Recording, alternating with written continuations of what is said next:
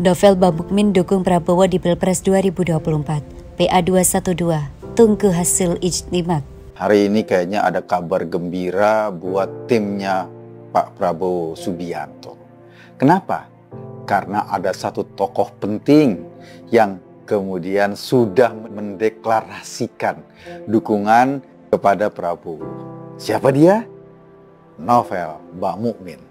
Kalaupun dia belum menggunakan nama PA212, tapi Novel sudah berkomentar, sudah mendeklarasikan dirinya bahwa tahun 2024 dia berdiri di sampingnya Pak Prabowo.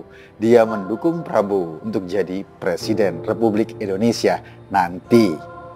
Sama pada tahun 2019 juga Novel dan gengnya juga mendukung Pak Prabowo. Ini seperti tambahan amunisi saya teringat yang video yang viral nih Gus Dur itu. Beliau begitu ditanya siapa pemimpin yang ikhlas, maka katanya Gus Dur, ya Prabowo. Jadi mudah-mudahan betul-betul oleh Allah ditakdirkan menjadi pemimpin yang ikhlas. Amin. Allahumma Wakil Sekjen PA 212 Novel Bamukmin menyebut Prabowo Subianto sebagai salah satu sosok yang selama ini memperjuangkan umat Islam dan layak dipilih di pemilihan Presiden 2024 mendatang. Sebagai seseorang yang berlatar belakang militer, Prabowo diyakini Novel punya keberanian serta power agar bisa menjerat para oknum aparat tingkat atas pada insiden pembantaian Laskar FPI di KM 50.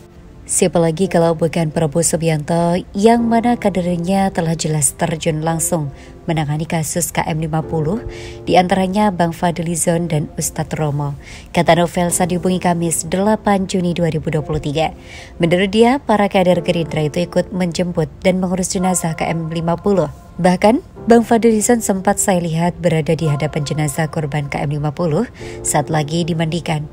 Dengan begitu, Bang Fadlizon jelas melihat bekas luka tembak pada jenazah para syuhada. Beber dia. Novel menambahkan orang-orang kader Prabowo tidak hanya mengurus jenazah Laskar FPI korban insiden KM50, namun juga memberikan akses pengaduan.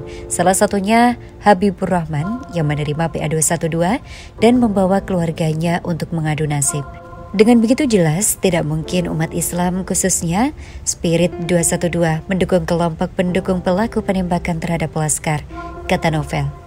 Tidak yakin dengan Anies Baswedan. Sementara untuk sosok lain yang disebut dekat dengan PA212, yakni Anies Baswedan, Novel mengaku pesimis.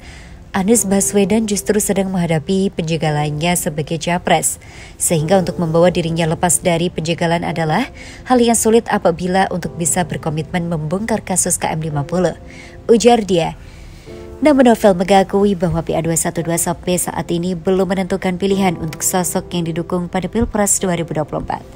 Menurut dia, PA212 bersama umat Islam akan tunduk pada hasil ijtimak ulama nanti yang digelar setelah pendaftaran capres-capres di KPU. Tunggu ijtima ulama ketika ditentukan capres dan cawapres oleh KPU. Dia pun menegaskan kembali bahwa akan tunduk terhadap putusan ijtima ulama nanti pada 2024 untuk menentukan siapa capres dan cawapres yang harus dipilih serta diperjuangkan.